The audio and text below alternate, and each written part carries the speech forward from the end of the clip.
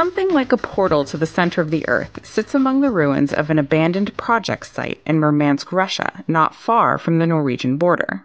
Sure, it's covered and welded shut, but it still sounds like a horror film to me. The deepest hole ever dug may be pretty unassuming, but I suspect I'm not alone in being a little freaked out by it.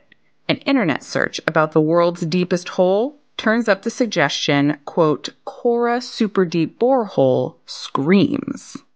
No wonder locals call it the well to hell. Before the very idea of a super deep hole starts haunting your dreams, keep this in mind. The hole is only 9 inches in diameter. That's about 23 centimeters so there's no way you could fall into it.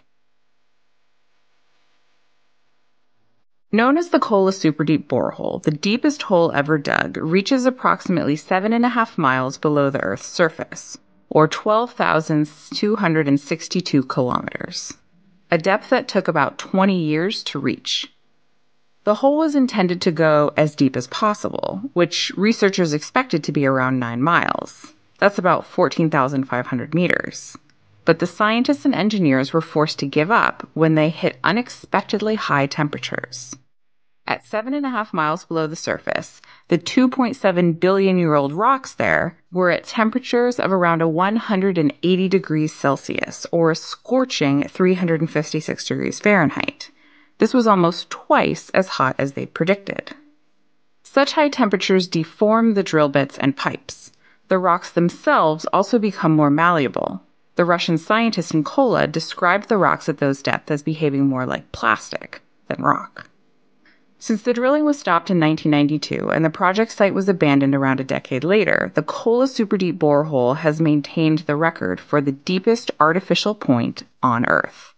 Humans have since dug longer boreholes, including the 12,289 meter borehole drilled in the Al Shaheen oil field in Qatar, and the 12,345 meter offshore oil well near a Russian island. But the hole in Kola remains the deepest. There are a few reasons we humans dig deep into the earth, extracting resources like fossil fuels and metals, for starters. A 100 year old copper mine in the mountains near Salt Lake City, Utah, hosts a pit that extends three quarters of a mile deep and spans two and a half miles. At 215 meters, the Kimberley Diamond Mine in South Africa is one of the largest holes in the world dug by human hands. We also dig, of course, for science. Experiments looking for neutrinos, nearly massless subatomic particles that get produced in explosive astronomical events like exploding stars and gamma ray bursts, have to put their detectors far below the Earth's surface.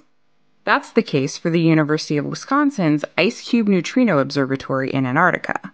These depths are needed to pick out the faint signal of the neutrinos from the stronger background radiation at the Earth's surface.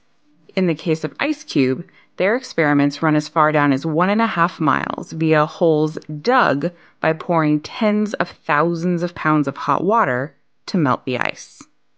Drilling the Kola superdeep borehole was, for the most part, purely science driven. Soviet scientists wanted to learn more about our planet's outermost layer, called the crust, to understand how that crust has formed and how it evolved. Now, I say for the most part because people have likened efforts to dig the deepest hole to the space race. Science was the goal, but everyone wanted bragging rights for winning the race to the center of the Earth. An American effort known as Project Mohole attempted to drill deep into the floor of the Pacific Ocean off the coast of Mexico in 1958. The project's goal was to reach the boundary where the Earth's crust meets the next layer, called the mantle. Congress discontinued funding in 1966 when the drillers had reached only 183 meters, or about a tenth of a mile. In the early 90s, German scientists reached about six miles below the surface in Bavaria with the German Continental Deep Drilling Program. There, they hit seismic plates and found temperatures of 600 degrees Fahrenheit. Due to lack of funds, that project was also abandoned. The Japanese drill ship Chikyu has drilled almost two miles into the ocean floor, the deepest we've dug in the ocean for science. BP's Deepwater Horizon, which was lost in the infamous explosion and oil spill in 2010, holds the overall record for the deepest offshore hole at about 5 miles below the seafloor.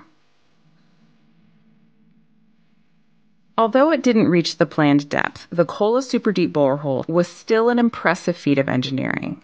New drill technology had to be developed to make the project possible.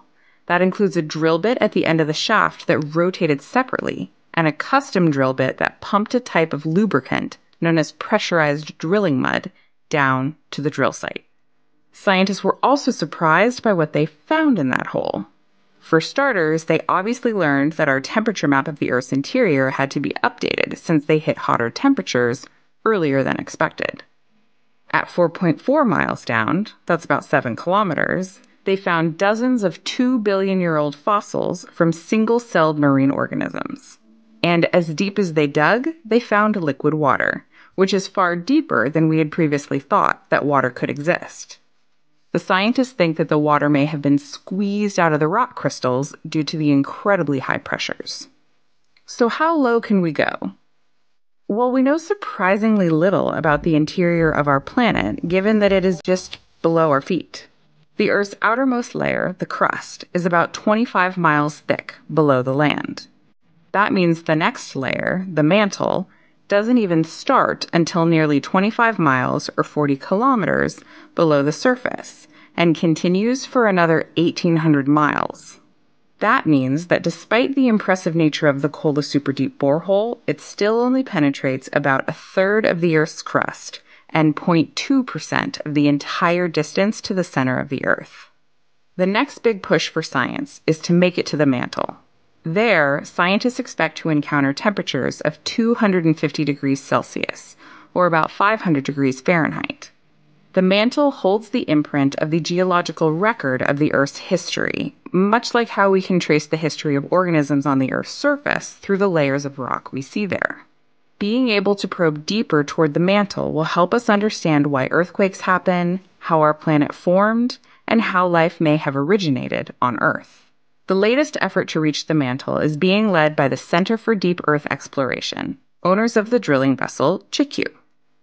They expect the project to take dozens of years and $1 billion. Chikyu is mostly funded by the Japan Ministry of Education, Culture, Sports, Science, and Technology and the U.S. National Science Foundation. But other partners include the European Consortium of Ocean Research Drilling, the People's Republic of China, the Republic of Korea, India, Australia, New Zealand, and the Federal Republic of Brazil. So it may be that figuring out what sits beneath our feet requires a truly global effort.